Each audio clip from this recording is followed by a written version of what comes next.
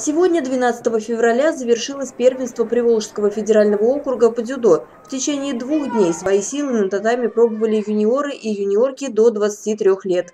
Уровень борьбы очень высокий. Здесь представлено порядка 30 спортсменов, которые представляют нашу страну на международных соревнованиях, то есть члены сборной страны Российской Федерации.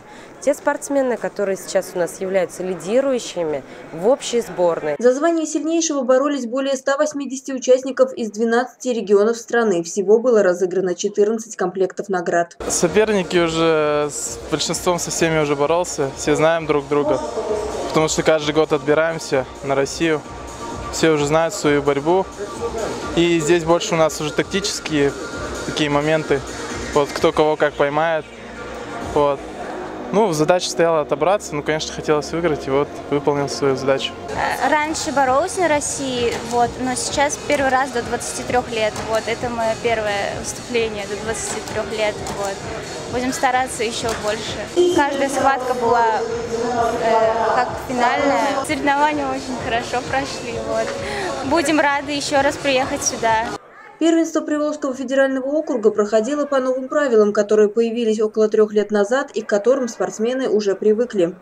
Мое мнение, я не такой уж там большой специалист, но я считаю, что э, э согласно новых правил и в тех изменениях, которые есть, э, оценки стали более объективными. То есть судить стало немножко проще. Когда, такие сомнительные моменты, когда наступает давать там ту или иную оценку. Первенство Приволжского федерального округа – соревнования отборочные, после которых победители и призеры начнут готовиться к новым стартам. Спортсмены, занявшие с первого по четвертое место, будут представлять Приволжский федеральный округ на первенстве страны, которое пройдет в Кемерово 22 марта 2017 года. Несмотря на то, что от Балакова на этих соревнованиях выступали всего пять спортсменов, которые вошли в сборную Саратовской области, турнир решили провести именно в нашем городе, по большей части из-за того, что у нас дзюдо – популярный вид спорта. Мне этот вид спорта, он близок.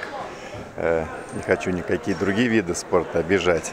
Поэтому я, наверное, не только без обиды Балакову, я и в Вольске с этого начинал. Здесь вот сидят э, ребята с Вольска, они подтвердят. Построили два спортивных зала замечательных, где сейчас дети занимаются. Так и здесь э, чем помогаем? Всем, чем можем, в рамках своих обязанностей.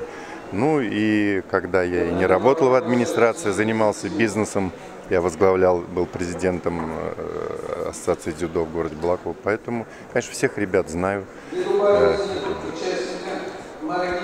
Татами, кимоно, и залы, и поездки. Все как обычно, ничего нового.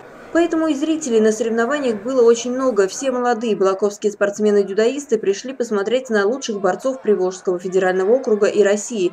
И по мнению тренеров, турниры такого высокого уровня позволяют начинающим борцам понять, к чему нужно стремиться.